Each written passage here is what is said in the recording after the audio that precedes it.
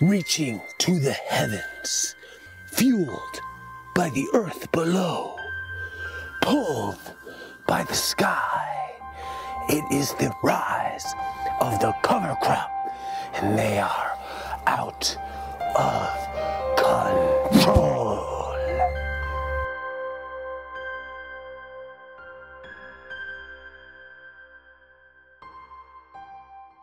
Morning, morning, morning. Happy Friday. Thanks for watching the video today. I'm your host, Diego, D-I-E-G-O.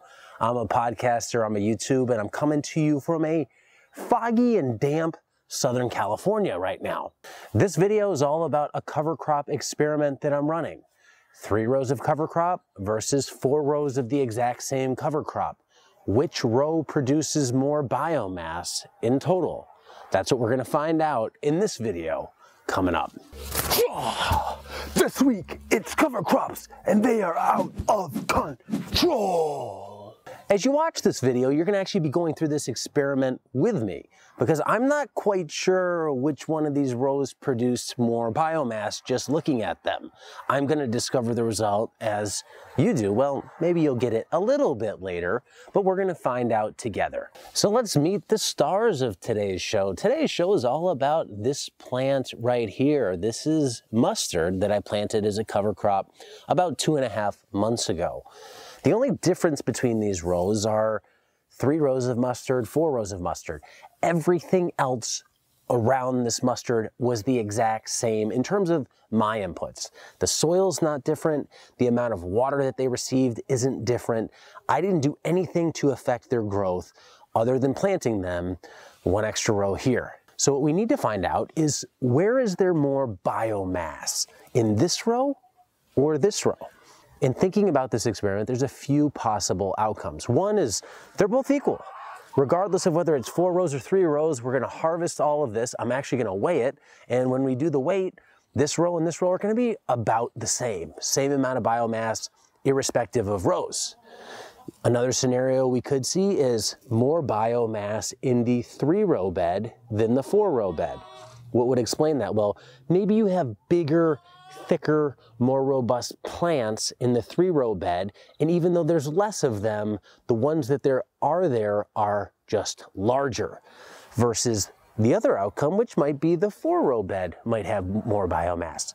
Maybe the plants are smaller, but there's more total plants, so you have more total biomass. But then again, we may get into this and we're gonna look at individual plants and say, these plants and these plants, for the most part, they look about the same. So if they're about the same, this row is gonna be the winner because there's just more of them.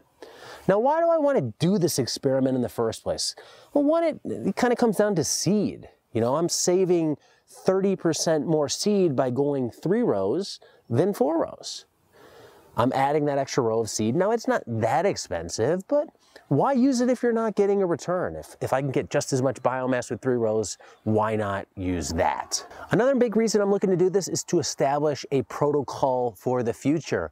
I don't want to be monkeying around saying, is it three rows or four rows? And sometimes I do four, sometimes I do three. I'm going to do this experiment. I'm going to test it over a series of iterations, find out which one works, and that's going to kind of be the gold standard.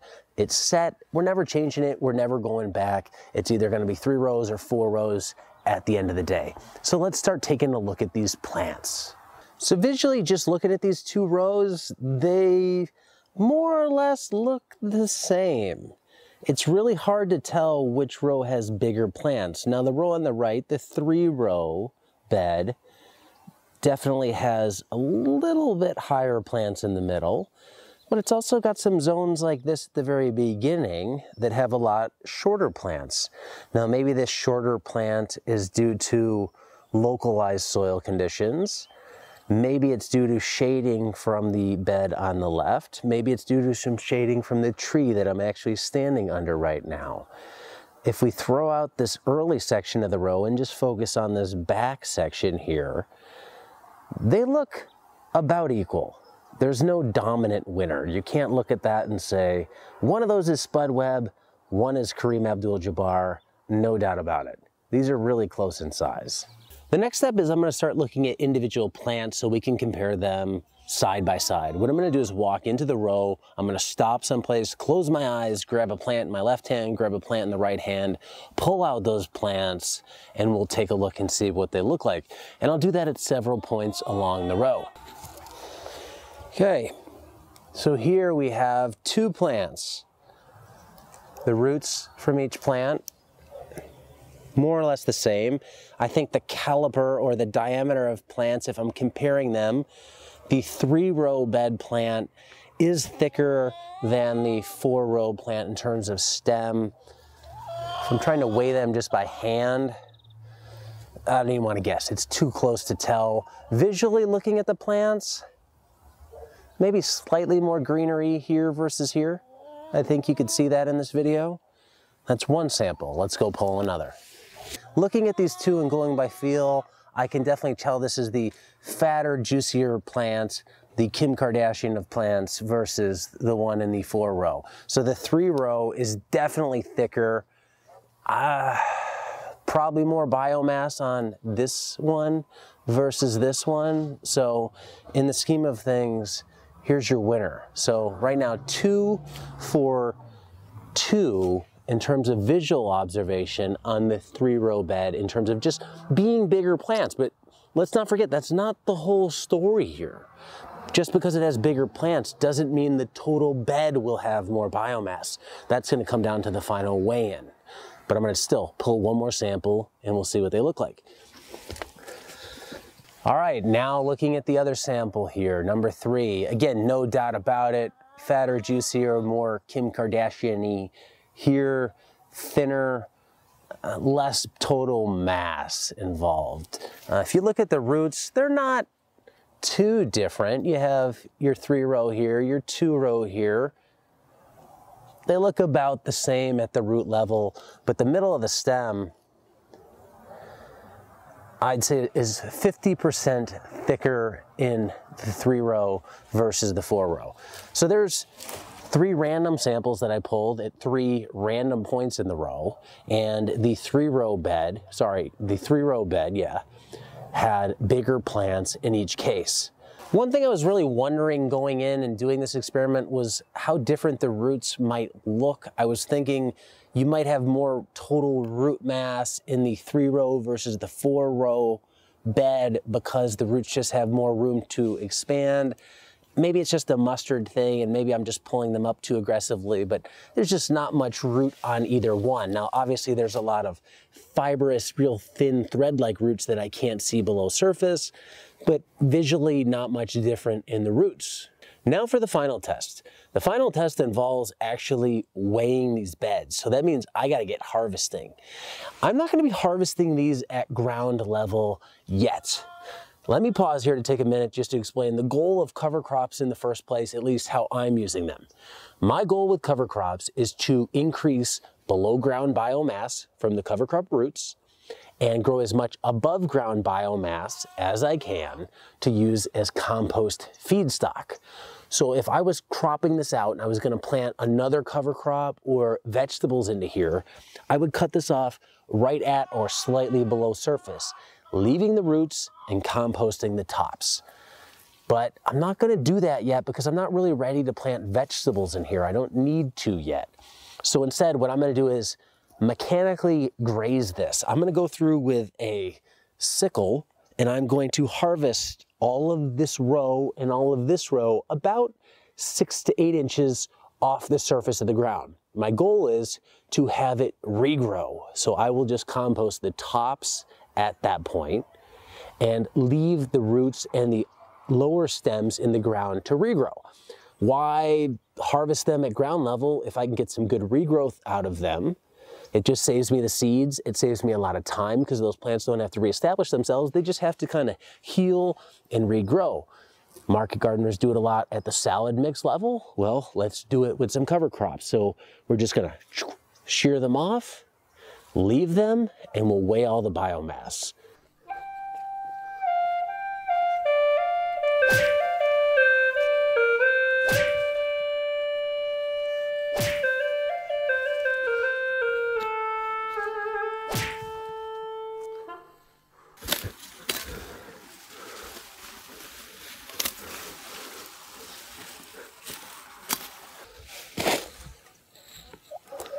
Here's part of one row. I'm gonna weigh that. I'm gonna use a simple game scale like you can get on Amazon. I put a link to this one below. It's just part of the row, not all the row, part of the row on a tarp. I'm gonna put this through it, hold it up. I'm holding it because I don't have a tree to hang this off of a branch. So I'm gonna have to be the tree and I'm gonna have to be the branch. We'll see how it works. Interesting. Have the weight. I'm not gonna show you now. You're gonna have to watch the whole video to find out how much this weighed. All right, one row down, one row to go. The numbers are in. Stay tuned. That's it, that's the final weigh-in. Now let's tally up the totals and see what it looks like. So here are the two piles, pile A and pile B. Which one's bigger? I don't know if it's showing up on camera, but pile A right here is clearly visually larger than pile B. So what do you think? Is this three rows or is this four rows? What's your guess? Now that everything's been cut, here's what the rows look like. I'm thinking these are gonna grow back here. We'll have to see. Some of the stems are pretty thick and these mustard stems really are like straws after cutting hundreds of them open. You just see these big tubes sticking out of the ground. Will they come back? I think they will. We'll see. So I'm gonna let these grow back and harvest them again. Now let's get on to those numbers, the numbers that you've all been waiting for. The results are in. The totals are 148 pounds of biomass out of one bed, 114 pounds of biomass out of another bed. So one bed produced 30% more biomass by weight.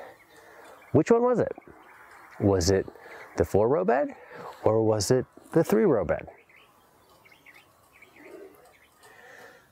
The four row bed produced 30% more biomass and ironically it had 30% more rows in it than the three row bed. It's a little surprising because as I was harvesting these, I noticed the three row bed had consistently thick, big stems, where the four row bed had a lot of big, but a lot of small, like really small, yellow pencil small, and then fat, like not even my thumb, like my big toe fat. So I think it was just that accumulation, the, the sheer numbers game here that won out for the four row bed. It just had more plants, those plants weighed more at the end of the day, and they outweighed the bigger, thicker, more consistent plants from the three row bed. There are some pros and cons to this. I kind of wish the three row bed produced more because the three row bed was easier to harvest. Rows are spaced wider, you're in there chopping with a knife. It's easier to grab and clump three rows than it is with four rows. Four rows is just more crowded, more difficult to harvest. Four rows uses more seed. Is that a big deal? Eh, not really. The seed is cheap, so it's not that big of a deal on my scale. So I'll throw that out. So between more seed, a little more harder to harvest, four rows is going to be your winner. Going forward, I'm probably going to be planting four rows. Now I've also repeated that experiment with vetch, which you can't see down here, and with ryegrass, which you see up here. Which one of those is going to work? Is that three or four? Time will tell. So for at least for mustard, we know, based on this experiment, at about four inch in-row spacing, four rows per bed produce more biomass than three rows per bed on a weight basis. That's all for this one. Stay tuned next week where I'll be making a video where I show you how I'm making cold, slow compost out of all this biomass that I just harvested. That'll be coming up next week right here on YouTube. Thanks for watching. Until next time, be nice, be thankful, and do the work.